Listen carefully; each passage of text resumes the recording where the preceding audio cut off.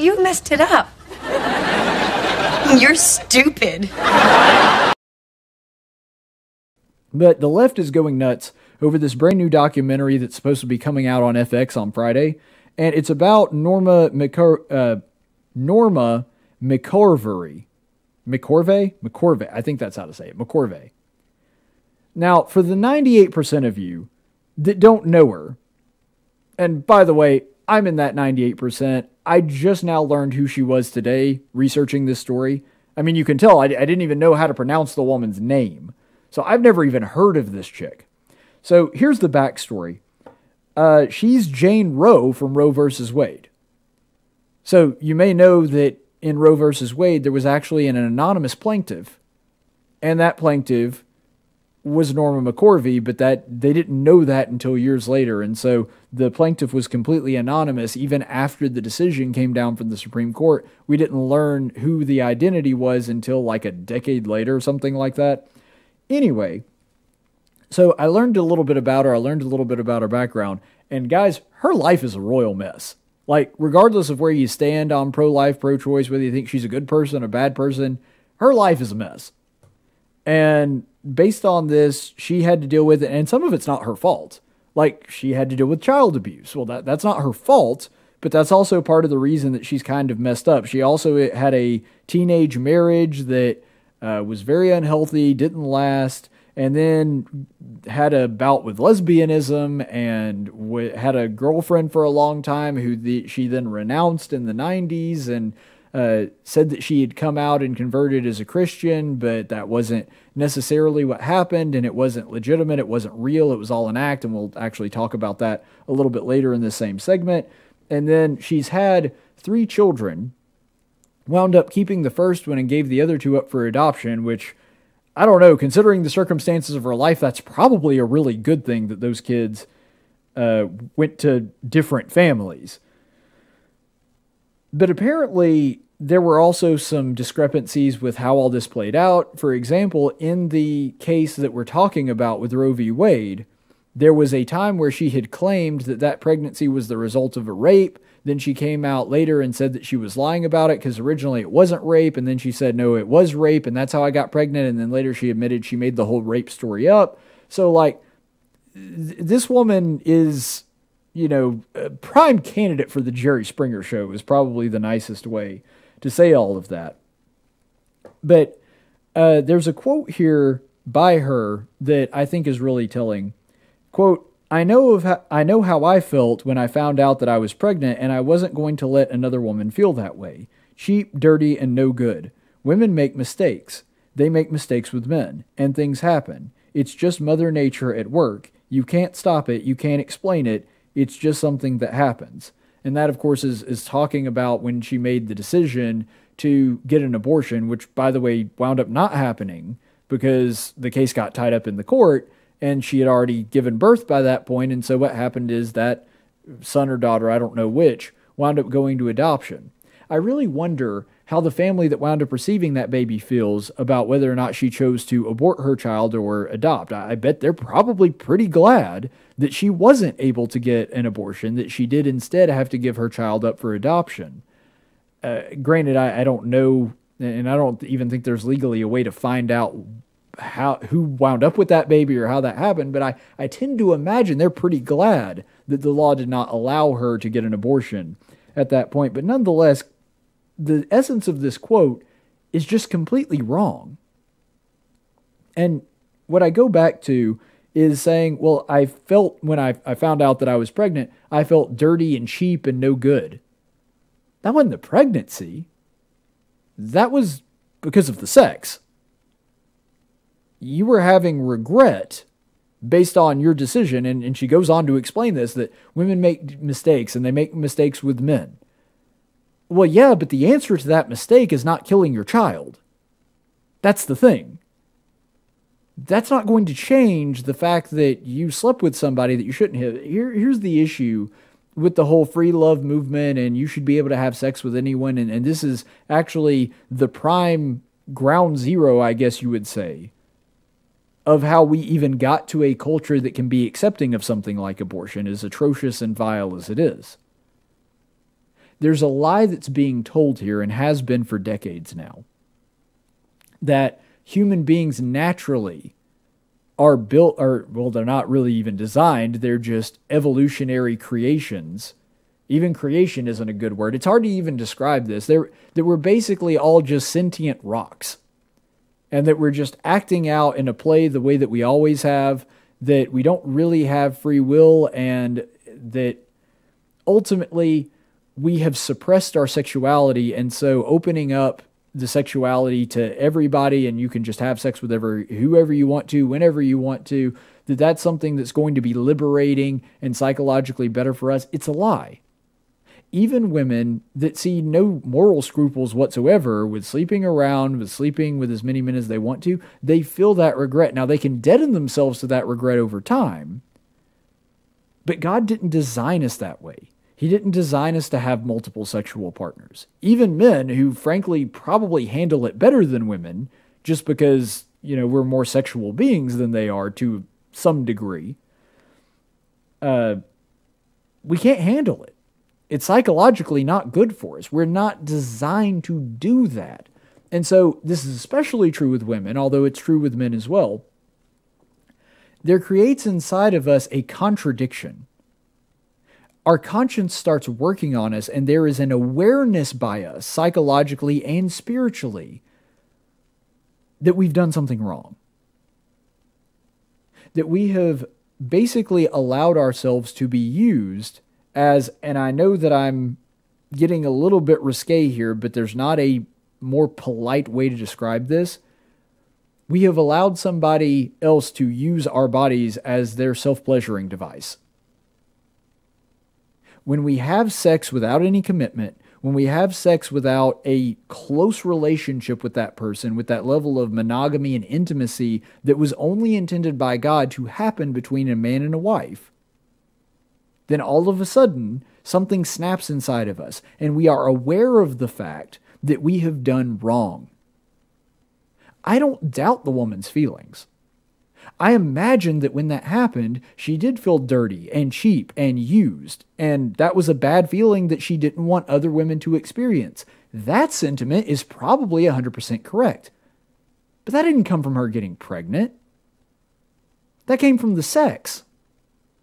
That came from her knowing that she did something she shouldn't have done. And so, the answer to that is not to kill the baby.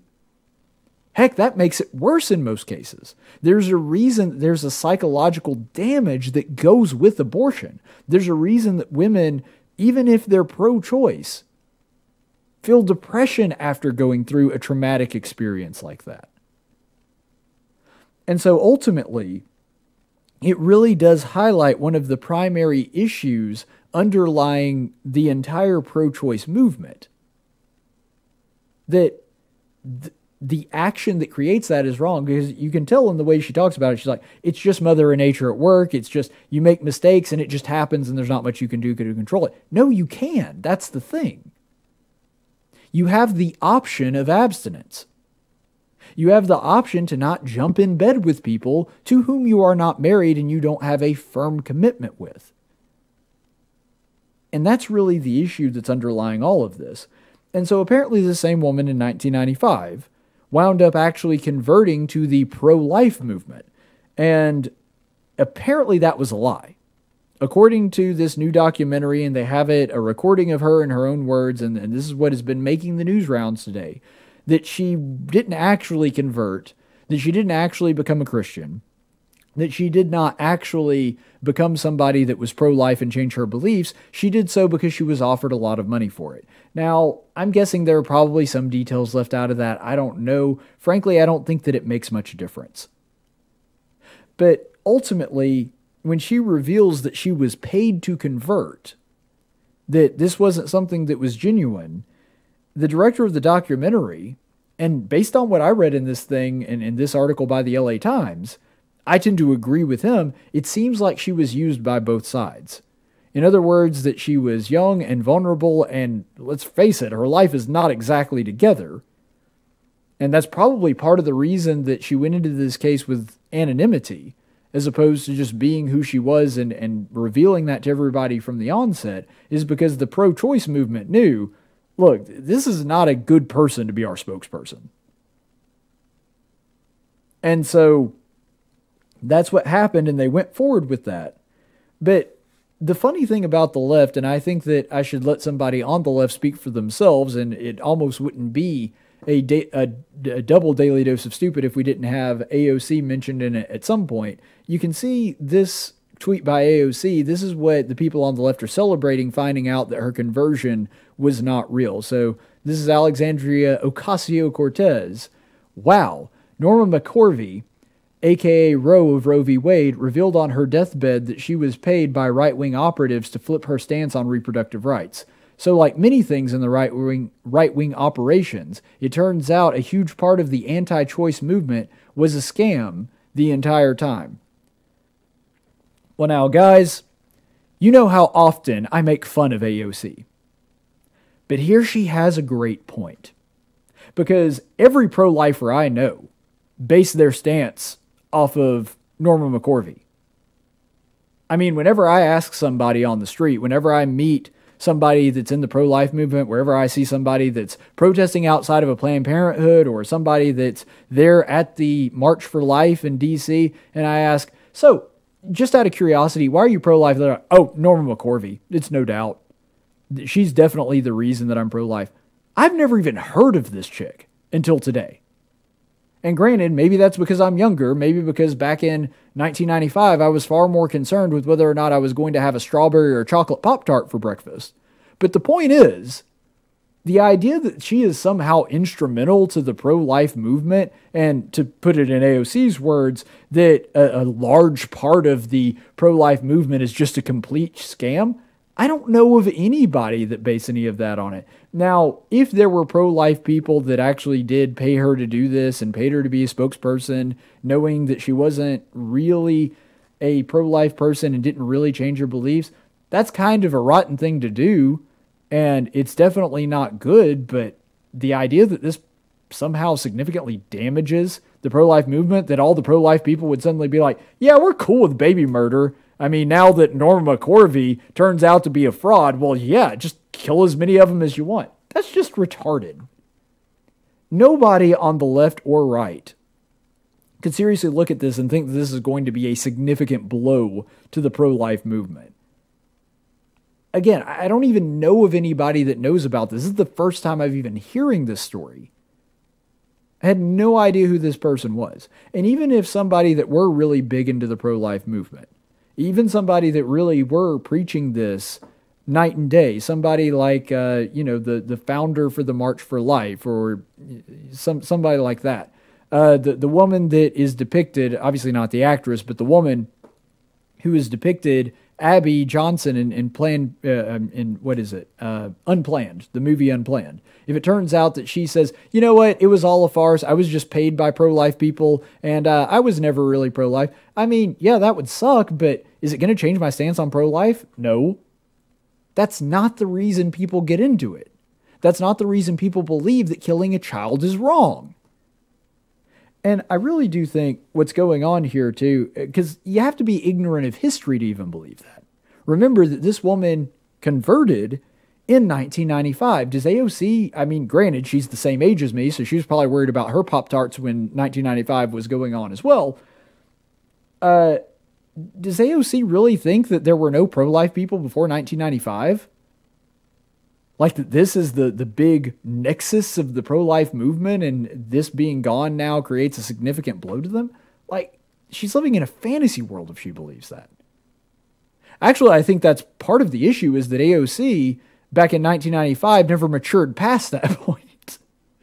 That unlike the rest of us she was still primarily worried about what flavor of pop tart she was going to have for breakfast but anyway um, it does though highlight a giant difference in conservative principles and ideas and liberal principles and ideas.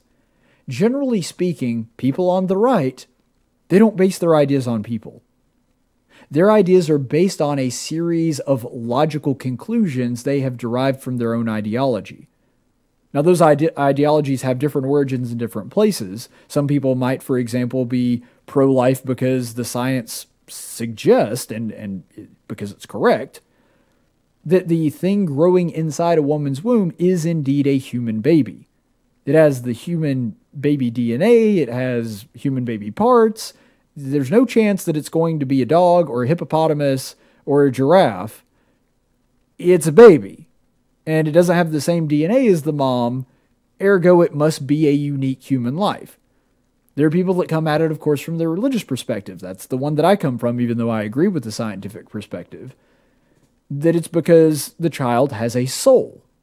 And because it has a soul given to it by God, then it is wrong morally to kill that child because it is a unique human life. There's different ways that you can arrive there, but the point is, it wasn't based on a person. So much on the left is based on people. They have to have a community of agreement. It's one of the reasons, for example, they fought so hard for things like gay marriage, because to them, it's not enough for them to believe it. They have to compel other people to believe it. They need that community of agreement because in their mind there's no such thing as objective morality. Therefore, they have to have a majority of people agreeing with them for their belief to be real. If you don't, because if you believe in objective morality, it doesn't matter if you're the only human being on the planet that believes it, you believe it to be right. The left doesn't have that. They have to have a large group of people believing it with them, or they assume that it's not correct. And basically, they have to conjure their beliefs out of the masses. That's the difference. And that's what this highlights. They think that because a, I guess, formerly prominent person in the pro life movement, again, I've never even heard of her and I've been pro life my entire life. I do this for a living and I still have no idea who this person is. But apparently, somebody that at least they see as being a big deal in the pro life movement having a false conversion, they think that that's going to change people's minds or that's going to be a big deal. No, it, it might have, like if Bernie Sanders came out yesterday and, and said that he was a capitalist, that probably would put a significant de- dent in the ideas of socialism. The opposite isn't true. The right just doesn't think that way. My mother always said if you can't say something nice about somebody, then you're probably talking about a leftist. Nah, I kid, but seriously, it would really help me out if you would like this video and subscribe to my channel. I'm sure my mom would appreciate it.